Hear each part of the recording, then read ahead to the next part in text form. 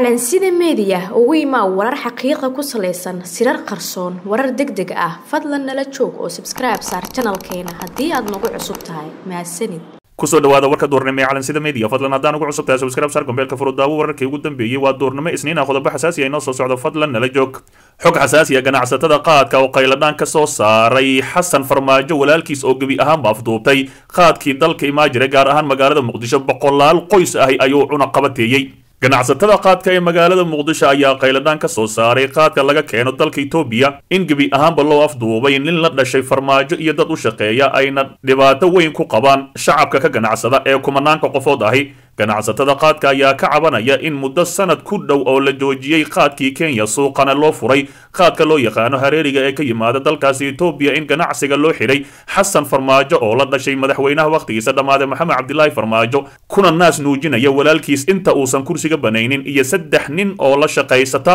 oo uu ka mid yahay guddoomiye ku-xigeenka gobolka banaadir caliyaro u qaabilsan qaadka kenya laga soo geliya xeebaha sharci darrada lagu soo geliya ayaa asiga loo xilsaaray in qof kasta oo soomaaliyeed oo qaad ganacsi dhuumaalays ku keena in uu xabsiga u taxaabo. Ganacsatadaani oo marar badan qayladhaan ka soo saaray arrintaani ayaa baaq kale u diray madaxda u matasha dowladda federaalk soomaaliya iyagoo ugu baaqay in wax laga qabto ganacsiga lagu naas nuujinayo farmaajo walaalkiis oo dadka lagu qasbay inay qiimo sare ku qaataan cid kalena aanay qaad keeni karin dalka waxaa la yaab ah ganacsi dhan oo waddanka u furan in loo xiro hal shakhsi islamarkaasina walaal la ah madaxweynaha wakhtigiisa dhammaaday farmaajo. Ganacsatadii weligeed hore u keeni jirta qaadka ayaa gebi ahaanba laga mamnuucay.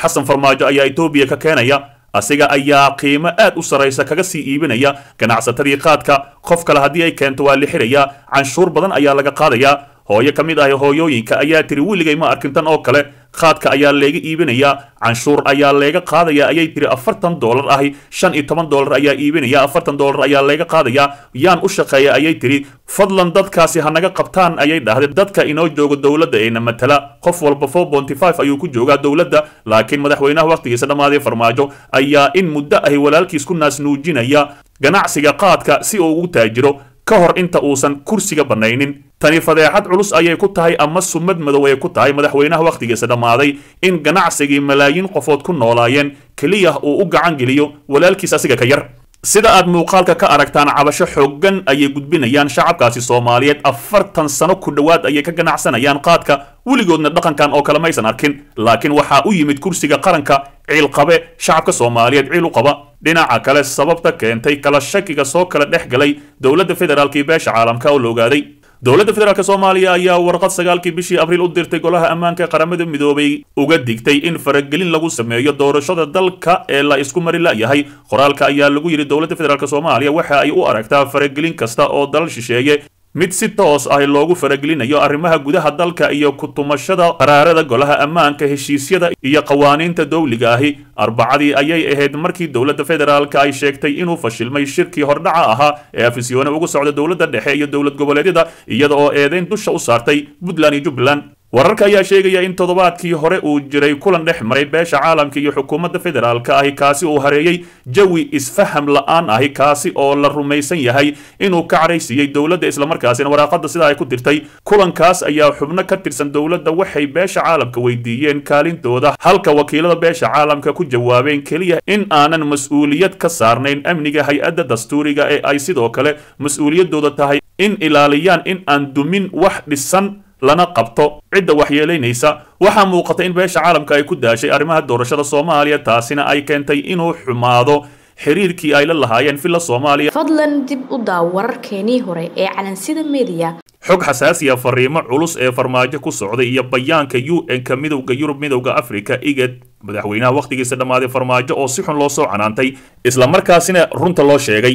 beesha caalamka ayaa fariimo culus u dirtay madaxweynaha wakhtigiisu dhammaaday ee soomaaliya maxamed cabdilaahi farmaajo oo bishii labaad ku dhammaystay kursiga isaga oo aan sharciyad u haysan bayaanka ay si wadajir ah u soo saareen qaramada midoobay midowda afrika midowda yurub iyo urur goboleedka igad ayaa waxaa ku dhex jiray fariimo si toos ay ugu socday maxamed cabdilaahi farmaajo oo ku saabsan khilaafka ka taagan doorashada iyo qalalaasaha siyaasadeed ee ka dhashay dalka. Fariimaha ku dhex jiray ayaa kale ah kow in soomaaliya ay tahay dal xor ah oo la dhowrayo qarannimadiisa balse qalalaaso kasta oo ka dhaca oo halis gelinayo amniga iyo xasiloonida dunida xusuusin in soomaaliya ay joogaan sharciyad ka haystaan golaha amniga golaha amniga qaramada midoobay islamarkaasina ay sharciyad u haystaan laba inuu halis ku jiro horumarkii dowladihii hore ee soomaaliya gaareen siiba in xukunkii si nabad ahi loogu kala wareegay fariin ku wajahan farmaajo saddex in la qabto doorashooyin xor iyo xalaal ahi islamarkaasina aan la aqbali karin doorasho hal dhinac ahi ama muddo kordhin hay'adaha dowladda ee wakhtigeedu dhammaaday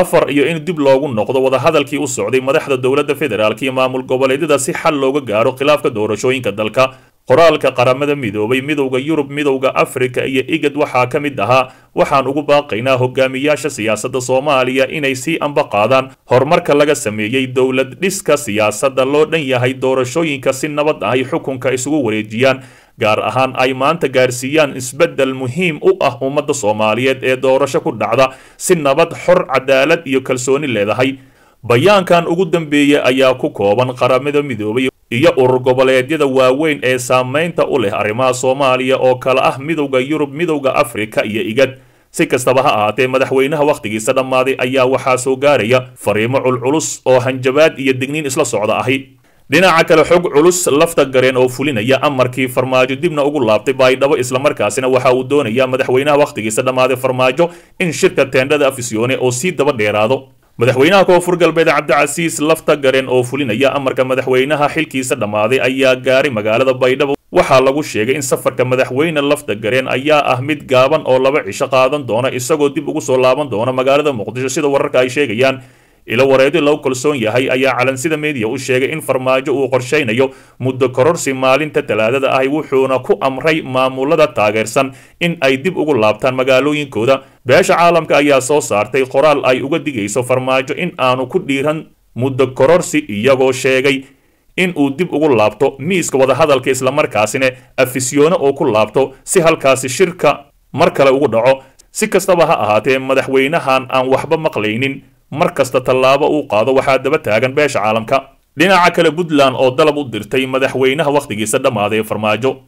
Wasiirka warfaafinta dowlad goboleedka puntland mudane cabdulaahi cali xirsi timacadde ayaa mar kale ku celiyey maamulka puntland. Uu diyaar u yahay inay sii socdaan wadahadaladii teendhada afisyoone oo dowladda ay sheegtay inuu fashilmay. Wasiir timacadde ayaa sheegay in madaxda sare ee puntland ay ogol yihiin go'aan raadinta xal doorasho middaas oo si wada ogol ah loogu geli lahaa doorashada dalka puntland weli waxay joogtaa miiskii wadaxaajoodka ee lagu ballamay waxaa naga go'an raadinta xal doorasho loo dhan yahay lagu geli karo si dalka xasilooni darrada siyaasadeed looga badbaadiyay ayuu yidhi wasiir timacadde oo qoraal kooban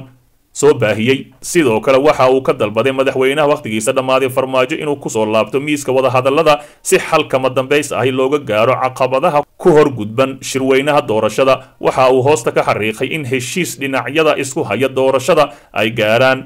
uu dalka ka badbaadiyo xasilooni darro siyaasadeed. Wasiirka ayaa hore u sheegay in puntland ay u taagan tahay ilaalinta sharciga iyo ku dhaqashada dastuurka u yaalla dalka isaga oo ku eedeeyey dowladda federaalka ahi ee soomaaliya. Inay ku tumanayso shuruucda dalka u yaalla hadalkani ayaa imaanaya xilli ay dhowaan dowladda federaalka ay shaacisay inay fashilmeen wadahadaladii ka socday teendhada afisyoone beesha caalamka ayaa kursi gaaban ugu fadhisa madaxweynaha wakhtigiisa dhammaaday. Haddii uu muddo kororsi sameeyo cid aqbalaysa ma jirto. Haddii uu teendhada afisyoone diido cid ka yeelaysa ma jirto. Labada dhinac ayaa ka soo xirmatay madaxweynaha wakhtigiisa dhammaaday farmaajo. Sharci darrana kuma sii joogi karo kursiga ummadda soomaaliyeed